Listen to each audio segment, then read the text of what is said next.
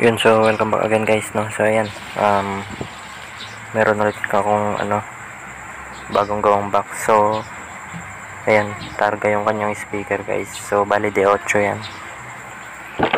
Ayan, so bali sa ano ko isa-set up to guys sa tricycle. Bali, ang design nga pala nitong loob nito guys is ah, ano, bali ganito yung kanyang itsura. Ayan, bali ganyan yung kanyang design guys. So, bali parang ported lang din siya. Ayan.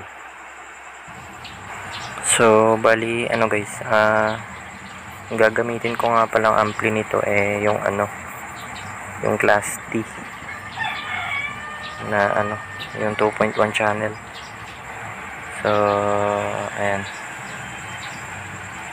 Ah, bali ito yung kanyang ano, ah mid mid-range tsaka Twitter yung box niya.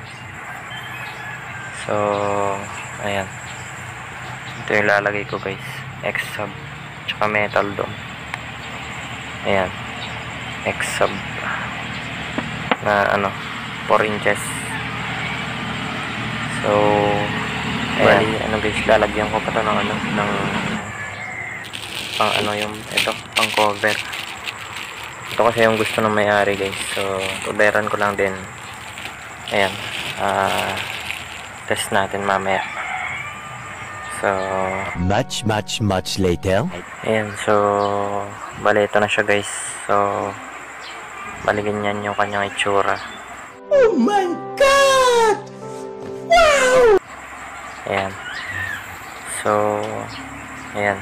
Ayan yung kanyang ampli nga pala guys. So um, bali class D guys.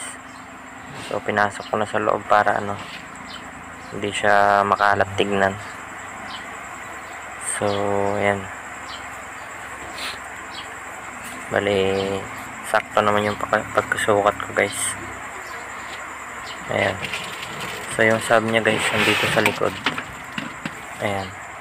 So bali di ko na kinubayaran kasi ano kinulang sa cover. So, testingin natin guys. Yun, so bali battery nga pala nito guys is nasa baba ng upuan. So, bali pang e-bike guys. Ayan, so testingin na natin.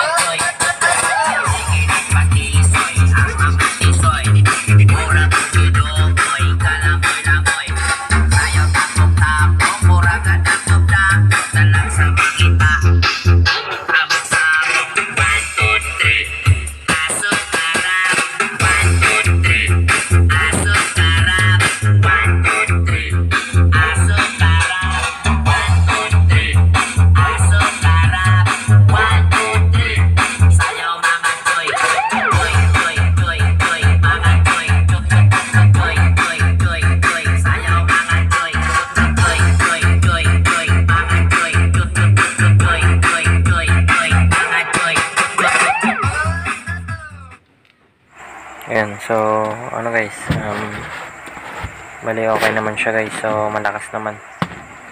So, ang kagandahan nga pala sa Class D guys is ano, ah, di siya matakaw sa battery. At malakas pa. So, ayan, sulit talaga. Ayan. Yun, so hanggang dito na lang guys. So, ayan. Salamat sa panonood din. Kita-kits ulit tayo sa next video natin guys. So, ayan. Uh, paalam muna guys.